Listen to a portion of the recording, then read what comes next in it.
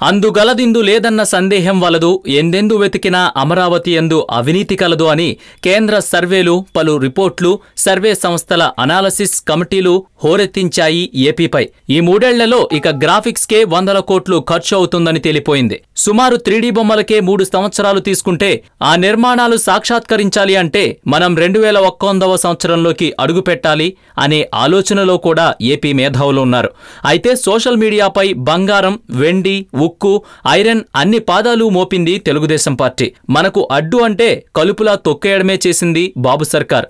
అనేక కేసులు దీనికి నిదర్శనాలు. తాజాగా జగన్పై వైసీపీ నాయకులపై కౌంటర్లు వేస్తున్నారు బాబుగారు ఆయన మంత్రివర్గం. ఆ కౌంటర్లు వెనుక అర్థాలు లేవని కేవలం పెడార్థాలు మాత్రమే అని తావిచ్చేలా ఉన్నాయి అంటున్నారు వైసీపీ నాయకులు. తాజాగా ఆన్లైన్లో సోషల్ మీడియాలో సీఎం చంద్రబాబుపై ఓ పోస్టు వైరల్ అవుతోంది. వైసీపీ అధినేత జగన్ని సీఎం చంద్రబాబు నాయుడు తాజాగా అడుగుతున్న ప్రశ్న.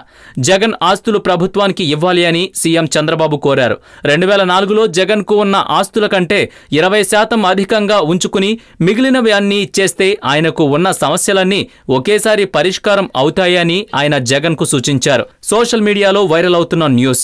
చంద్రబాబు గారు రాజకీయాల్లోకి వచ్చిన సమయంలో ఉన్నటువంటి రెండు ఎకరాల పొలాన్ని ఉంచుకుని ప్రస్తుతం ఆయన కుటుంబం దగ్గర ఉన్న ఆస్తులు అన్నీ ప్రభుత్వానికి ఇచ్చేసి జగన్ని కూడా తనలా చేయమని అడిగితే బాగుంటుంది అంటూ సోషల్ మీడియాలో న్యూస్ వైరల్ అవుతోంది.